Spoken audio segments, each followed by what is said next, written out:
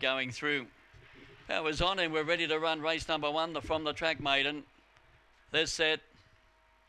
Racing now, bouncing out in front. Oriole's going to run to a nice lead on settling down. Moving into second place, four lengths away is Miss Fee. Third place to Lacuralas to the bagger. And then came Solomon Vandy, Summertime Blue, Robbo's Red Zone. And Devour's at the turn of the field. Travelling towards the turn, Oriole got away. Led by three lengths as they travel to the turn, followed by Miss Fee and Lacuralas. Oriole in front. On the inside, Miss Fee or Oriole and Misfire headed together in third place, Solomon Vandy or Summertime Blue, and then came Blacura last, followed by Devour, and last of all was Robbo's Red Zone. Judge will go for the photo. There's not much in this.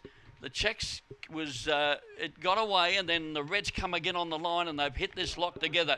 Not much in it. Number two, Oriole, and number one, Miss V. Oriole by Cape Hawk Zipping Hannah, owned and trained by Beverly Sloan. The other one in the photo finish is number one, Miss V by Kibo Zipping Yoko for Steve Benny. And they run around about the 23.50 mark, and that first lit was 11.40. Now, Judge is having a good look at the finish links after the running of the first event. As I said, Oriole was in front, but right on the line, Miss V's made a dive at it, and they virtually hit the line locked together. And there's not a great deal because there's no number there at the moment.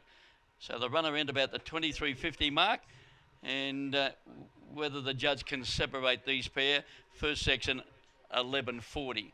So it's one Miss Fee and number two Oriole, and it's a dead heat. So it's a dead heat after the first event. Judge couldn't separate them.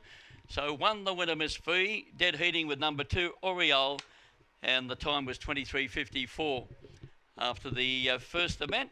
And we'll get those, uh, that run home time was 12.14. They run 23.54 and uh, third place going to number four, Solomon Vandy. So dead heaters one and two. Third place get a number four, Solomon Vandy. Number eight, Summertime Blue in uh, fourth place. And the time 23.54. And uh, we'll have the all clear in a moment.